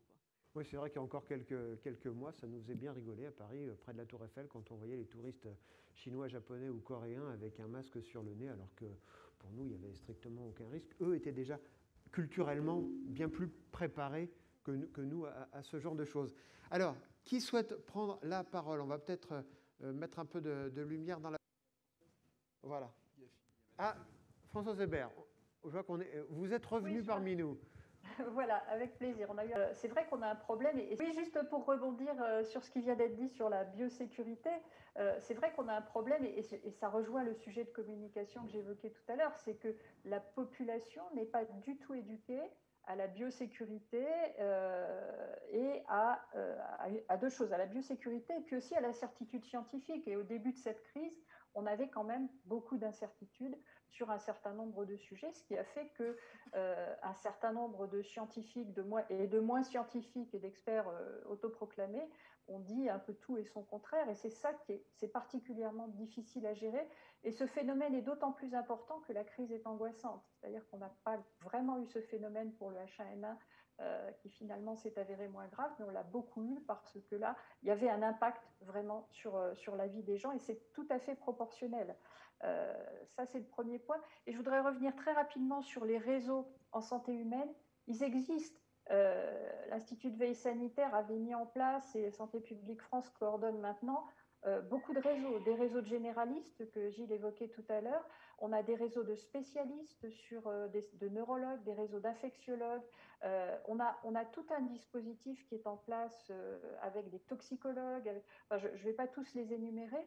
Euh, on a des raisons, on est branché sur les urgences des services hospitaliers de tout le territoire, d'un échantillon représentatif de tout le territoire, qui renvoient leurs données tous les jours, tous leurs diagnostics tous les jours à 2 heures du matin. Donc les réseaux sont là. Mais manifestement, c'est au niveau de l'analyse des données et notamment au niveau territorial, que ça ne, que ça ne se parle pas. Voilà, juste pour, pour répondre à deux questions. Voilà, alors je crois qu'au premier rang, monsieur, vous avez le micro. Allez-y. Oui, bonjour à tous. Bruno Frera, je, je, profite de cette occasion pour saluer Françoise à distance, parce que ce que tu viens de dire, c'est exactement euh, ce que je souhaitais dire également. Euh, on peut donner des touches positives. Je te donne un exemple très concret que l'on a eu très récemment. Euh, des signalements d'encéphalite attique sur un territoire très petit euh, et on ne comprenait pas ce qui se passait. Et en fait, c'est effectivement la communication entre les réseaux vétérinaires, les réseaux médicaux et les remontées d'informations par l'Institut de veille sanitaire, euh, Santé publique France, pardon, je, date un peu, euh, qui nous ont permis très vite de comprendre ce qui se passait et que l'on avait un troupeau de chèvres dans un département qui allait séjourner régulièrement dans un bois dans lequel il y avait des tiques et que ces tiques transmettait un virus par le lait. Et c'était un phénomène qu'on n'avait pas encore observé, mais qui nous a permis, sur un nombre de cas très limité, de pouvoir analyser, réagir et régler le problème, à la fois sur le plan de la santé humaine, mais également avec des mesures à prendre au niveau de la prophylaxie de l'élevage. On a des progrès à faire. Un des éléments très importants qu'on a approché, mais pas vraiment euh, touché du doigt complètement, c'est celui de la qualité des données la qualité des données de surveillance, qui est essentielle si on veut vraiment pouvoir analyser et tirer des conclusions et faire des ponts entre nos différents systèmes de surveillance pour pouvoir réagir et collaborer au mieux. Voilà, c'est tout ce que je voulais dire. Monsieur, là aussi au, premier rang. Alors ça va être la, même manipulation que... Voilà. Bah, peut-être sur le ah, bah, temps de la manipulation, comme je disposais du micro. Je crois que enfin, Didier Delmotte, président de la Fédération européenne de santé animale. Ah, je ne vous voyais pas. Voilà. Je, crois que animal est un élan de bonne volonté, puisque en Belgique, la même chose, le labo animal était réquisitionné et devait travailler pour faire les analyses. Puis on s'est rendu compte que finalement, au niveau de la sécurité sociale, nos analyses ne seraient pas remboursées parce qu'on n'était pas agréés par eux. Donc je crois qu'ici, ce qui est mis en lumière, c'est la différence entre la bonne volonté de chacun et c'est vrai qu'humainement, on se dirait, ben, il y a des compétences énormes, il y a le matériel, il y a les compétences humaines, donc ça doit fonctionner tout de suite. Et puis on se rend compte que ce sont deux ministères différents, que ce sont des administrations différentes, et que finalement, ben, c'est totalement impossible, ça va prendre des plombes, et la maladie sera disparue avant que ça ne fonctionne.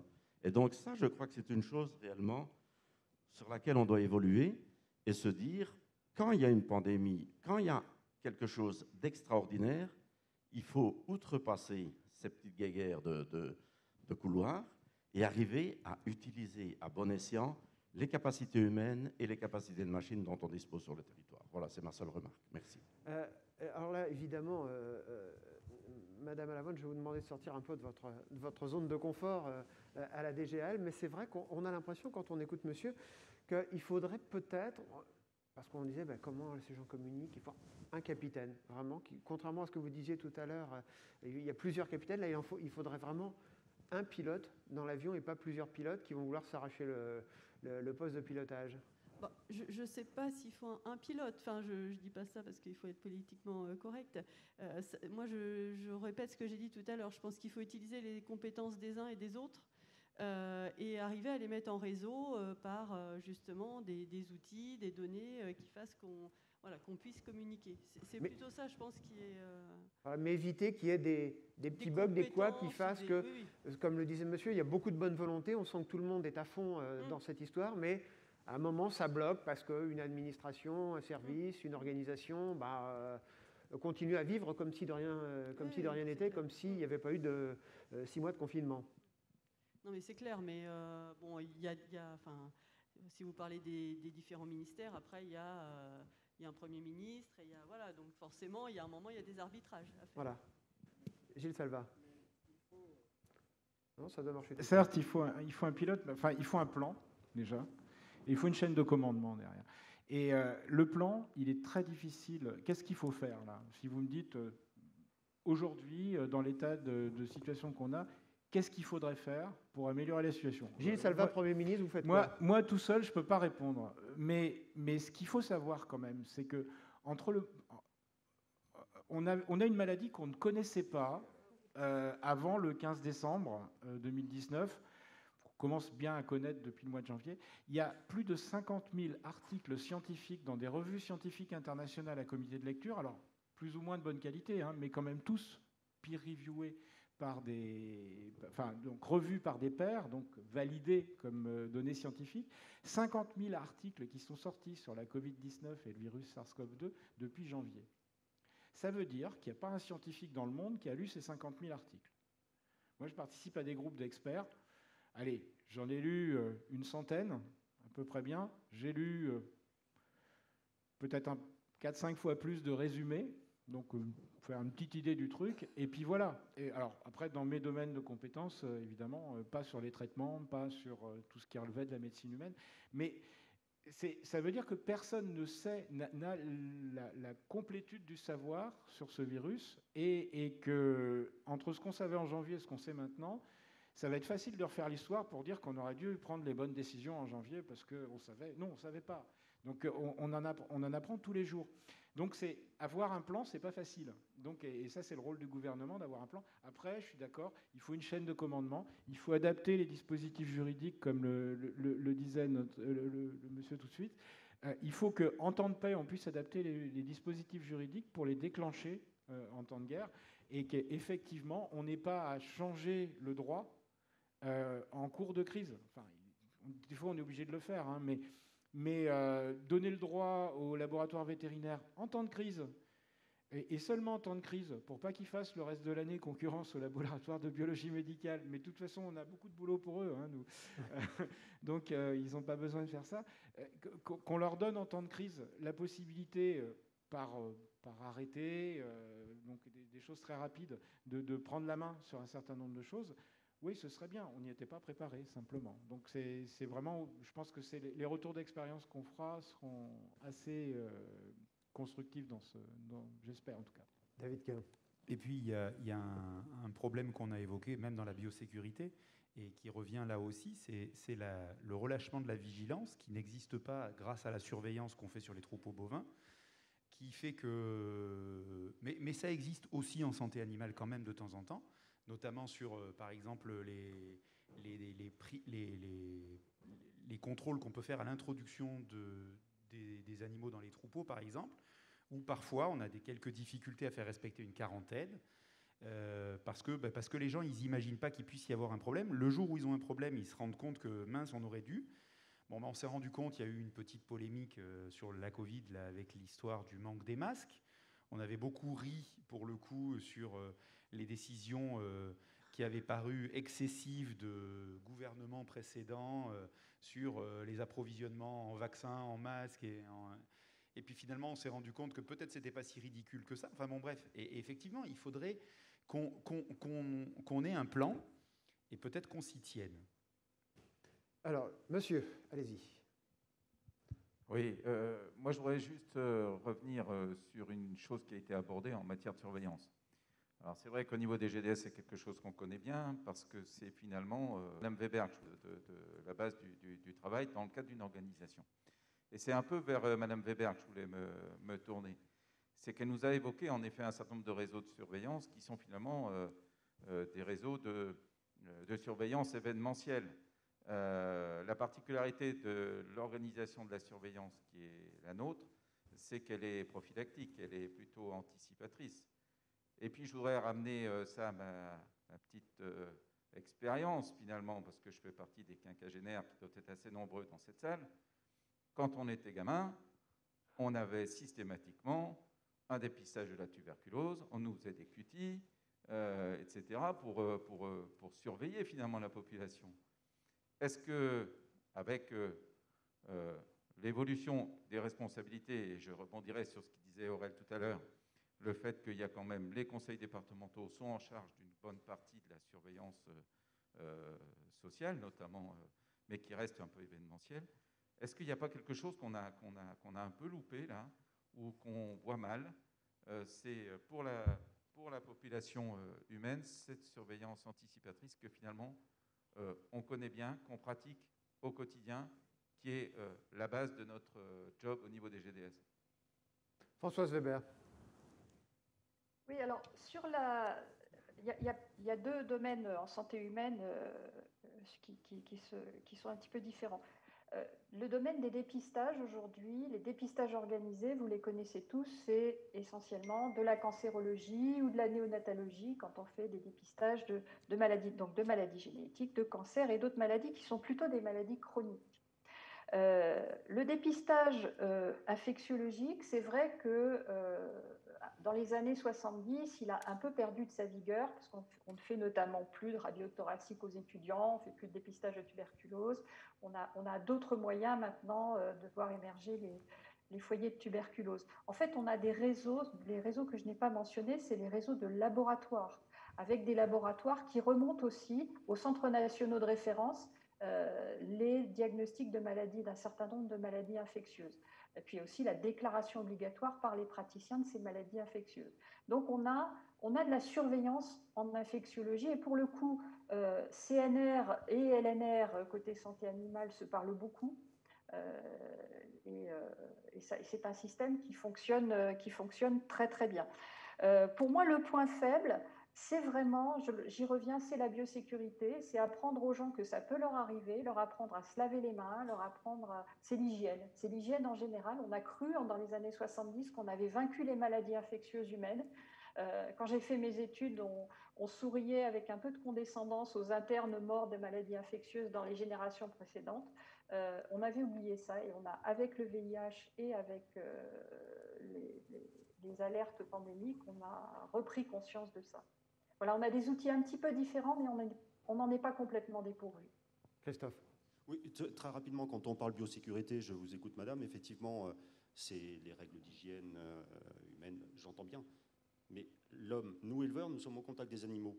Combien il y a ce jour en région parisienne d'animaux de compagnie, d'animaux les NAC, qui peuvent être euh, eux aussi? Est-ce qu'il y a une surveillance sur ces animaux-là? Parce que je veux bien, moi, biosécurité, enfin nous on, la connaît, euh, pour préserver quelque part l'homme. Mais on, peut aussi l'imaginer, enfin on l'imagine dans l'autre sens. C'est l'homme qui doit protéger aussi l'animal, parce qu'il redescend à nous. C'est dans les deux sens. Et on peut s'interroger sur les grandes populations euh, à l'heure actuelle, avec euh, bah, des furets d'animaux de compagnie. Enfin, voilà, il y a énormément de choses. Et quid de la surveillance sur ces animaux? Alors, euh, euh, David, ça c'est pas votre région. Euh, en, Corrèze, c'est plutôt des ah, animaux un peu importants. mais le chien, le, le, veto qui fait du chien-chien sa mémère. Ah non, non. Le veto qui fait du chien, on va s'arrêter là. Voilà. Je sais, quand je dis ça, ça les énerve, le vétérinaire. J'aime bien. Oui, sûrement. Non, non. Surtout vos collègues parisiens. Alors, effectivement, il y, a une surveillance qui est essentiellement volontaire. C'est-à-dire que le propriétaire d'animal de compagnie euh, n'a pas, euh, en termes de santé, euh, d'obligation particulière, si ce n'est lors de la transaction au départ, c'est-à-dire d'avoir une identification et une traçabilité.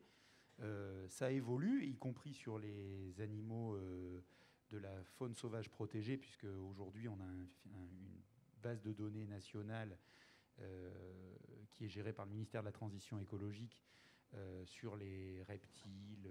Donc on a une traçabilité. Aujourd'hui, on a en théorie, puisque ça se met en place doucement, une obligation à la déclaration de ces animaux-là et, qui, on l'espère, permettra d'avoir un meilleur suivi de ces animaux. Mais effectivement, aujourd'hui, quand on a un rat à la maison, un serpent, ben, on a peu d'obligations euh, de surveillance euh, de ces animaux-là. Alors, on, vient de me dire qu'il nous restait très peu de temps, donc on va prendre encore deux questions. Alors, madame, vous avez le micro, allez-y. Bonjour. Euh, Pascal Parizeau, je suis la directrice générale de Alice, euh, donc partenaire de recherche sur euh, la santé et la génétique. Mais je suis aussi accessoirement, et pas accessoirement aujourd'hui, la présidente du réseau de santé publique vétérinaire. Et je souhaitais rebondir en fait sur ce lien médecin-vétérinaire, mais aussi sur le lien public-privé. C'est-à-dire qu'on a deux, et puis on a aussi un autre sujet qui est le sujet entre le central et, le, et la région. Comme le disait euh, tout à l'heure euh, Françoise Weber et, aussi Gilles, euh, les réunions de sécurité sanitaire à Paris, ça a été un gros progrès puisque la santé vétérinaire et la santé humaine se parlent tous les mercredis. L'autre gros progrès, c'était la création de l'ANSES, qui est une agence qui rassemble, on a le témoignage ici, donc Françoise Weber, médecin, Gilles Salva, vétérinaire, et donc il y a une instance de dialogue. C'est aussi au sein de l'ANSES que les laboratoires de médecine humaine et de médecine vétérinaire ont appris à se parler. Donc là, on a fait un très gros progrès au niveau parisien. L'autre progrès à faire, c'est le, dialogue public-privé. Il y a des instances au niveau parisien et donc euh, toutes les organisations professionnelles privées rencontrent le ministère de l'Agriculture, la Direction générale de l'alimentation dans des instances qui fonctionnent bien, entre autres le CNOPSAV avec euh, les professionnels de l'agriculture. Mais dès qu'on part en région, en fait, ce, ce dialogue n'existe plus le réseau de santé publique vétérinaire a mis en place des dîners-débats en région sur lesquels on, commence à inviter les médecins. On ne les a encore pas eus dans aucune région, mais euh, on commence à inviter l'ordre des médecins euh, à rencontrer les collègues du public et du privé, de l'aliment, de l'animal, et donc pour ajouter la, valence médecine. Et on a eu une expérience avec euh, le groupement d'épidémiologistes de médecine humaine tropicale, le GISP, qui a sollicité le réseau de santé publique vétérinaire il y a un an pour organiser une conférence euh, du Pharo qui se passe tous les ans. Et là aussi, c'était un peu une découverte en dehors de Paris sur le fait qu'on a beaucoup à s'apporter entre médecine publique vétérinaire, collective et euh, médecine humaine. Donc c'est public-privé, aliment, animal, humain. Merci pour, pour ce témoignage. une dernière prise de, parole. Monsieur, vous avez déjà le micro, allez-y. Oui, bonjour. Euh, Emmanuel Garin, épidémiologiste à GDS France. Euh, j'avais une question euh, et revenir sur deux points de vue, notamment pour euh, Madame Weber sur la santé. Alors, on va essayer de, compresser tout ça. Hein. On est encore en temps de crise, mais est-ce qu'il y a déjà des réflexions pour revenir On parlait de la communication grand public, mais pour l'éducation à la santé, notamment dans les écoles? Donc, on parlait tout à l'heure de, l'hygiène. On a redécouvert des, choses de base qui sont très bien connues dans les élevages. Et puis, en termes de biosécurité, là, plus pour un secteur professionnel, ce qu'on disait que les éleveurs sont des professionnels dans mon entourage, il y a des gens qui travaillent dans des institutions médico-sociales ou euh, en hôpitaux. Et même maintenant, en temps de crise, on est loin, je pèse mes mots, de ce qui est imposé en termes de biosécurité ou en termes de démarches sanitaires, par exemple dans des élevages de volailles ou de porcs. Donc, est-ce qu'il y a des réflexions sur euh, une remise à plat ou euh, revoir ce qui peut être la biosécurité au quotidien hors temps de crise dans les hôpitaux, par exemple? Alors là-dessus, bah, je pense qu'on effectivement, il y a encore beaucoup, beaucoup, beaucoup de, travail. Hein. Je pense que dans l'avenir, ben encore des champs, des champs du possible, euh, Gilles Salva. Mais, mais c'est vrai que quand on y pense, il y a plus de, contraintes pour un, éleveur euh, de, de volailles que pour un, un, instit qui va passer 7 euh, heures dans la journée avec euh, une trentaine de, gamins. Alors, je, laisserai euh, Françoise répondre sur, notamment sur les, les, EHPAD et les établissements de santé d'une manière générale, parce que je pense qu'il y a énormément de progrès qui ont été faits. Mais alors sur les écoles, enfin, on a été confronté à ça au, Conseil de santé publique parce qu'on a notamment émis un certain nombre de recommandations pour la rentrée scolaire qu'elle se passe dans les meilleures conditions. Et, c'est vrai que euh, ne, serait-ce que l'alimentation en savon et, enfin la possibilité de se laver les mains pour tous les élèves euh, par séquence, euh, tous ensemble. Ils font, a priori, on leur conseille pas de prendre toutes les récréations tous ensemble, mais, mais ça pose parfois dans certaines petites écoles des, gros problèmes. Hein. et, donc, enfin, on a très certainement une mise à niveau à faire, mais y compris des bâtiments parfois. Donc euh, il y, a de l'investissement à faire. Ça peut pas être, euh, ça peut pas être euh, fait instantanément. Après, il y a enfin, y a ce qui relève de, de l'éducation et il y a ce qui c'est l'éducation, c'est aussi les parents là pour faire l'instruction. Se laver les mains avant de manger, c'est l'éducation, c'est aussi les parents qui le font et qui doivent le faire. Et l'école rattrape parfois euh, ce, que, ce que font pas bien ou ce que font moins bien les, parents. Mais, mais quand, on le fait, euh, quand on le fait à l'école, les, petits ramènent aussi le message à la maison. Et, et, et, ils ont un impact en retour positif sur les, sur les parents. Donc je pense qu'il y a un rôle, y a, un rôle des enfants dans l'éducation des parents. Euh, sur, sur l'éducation à l'hygiène. Et il y a d'abord un rôle des parents sur l'éducation des enfants, évidemment. Hein, mais, euh, mais c'est. Euh, ce que je veux dire, c'est que, par exemple, se laver les mains, peut-être demain porter un masque à certaines périodes de l'année, euh, ça fera partie du, rôle des, des éducateurs d'une manière générale, que sont d'abord les parents, ensuite, ensuite l'école. Françoise Weber, d'un mot en conclusion? Oui, euh, peu de choses à ajouter à ce que vient de dire Gilles, hein, euh, sinon que l'état sanitaire des, bâtiments est catastrophique et il y a un certain nombre d'écoles où les toilettes sont inaccessibles, notamment pour les filles. Euh, sur les EHPAD, rapidement, les EHPAD, bah, ce sont, il y a une tension entre le rôle de l'EHPAD lieu de vie et le rôle de l'EHPAD lieu de soins. Il faut clairement aller vers une sécurité de lieu, vers une, sécurité, c'est le cas pour beaucoup d'entre eux déjà, mais vers une sécurité de lieu de soins. Ça, c'est encore un, un travail euh, euh, qui est lié à, l'évolution de la population des EHPAD, qui est maintenant euh, beaucoup plus âgée et beaucoup plus en mauvais état, si on peut dire, qu'il y a quelques années. Voilà, donc, et puis ben, l'éducation à la santé, elle se heurte au niveau des programmes scolaires, l'éducation à l'hygiène, même au niveau des programmes scolaires, à énormément de, de, de, requêtes et d'injonctions d'éducation à euh, la sécurité routière, la violence faite aux femmes, euh, les genres, etc. Et il faut vraiment qu'on se batte les uns et les autres pour que l'hygiène reprenne la place qu'elle avait dans les années 60, où, euh, enfin, moi je fais partie de cette génération qui a été à l'école dans les années 60, où on montrait les mains à la maîtresse, où on allait se laver les mains, où euh, c'est un, peu, infantilisant, mais c'est comme ça et c'est très important, et où on nous répétait très régulièrement euh, ce qu'il fallait faire. Eh bien, écoutez, euh, merci beaucoup, euh, mesdames, messieurs, d'avoir euh, participé à, cette table ronde. Si vous en avez marre du masque, rassurez-vous, l'hiver arrive, vous verrez, ça tient chaud pendant l'hiver. Et puis, pour reprendre cette phrase qu'on entend beaucoup, prenez soin de vous. Merci.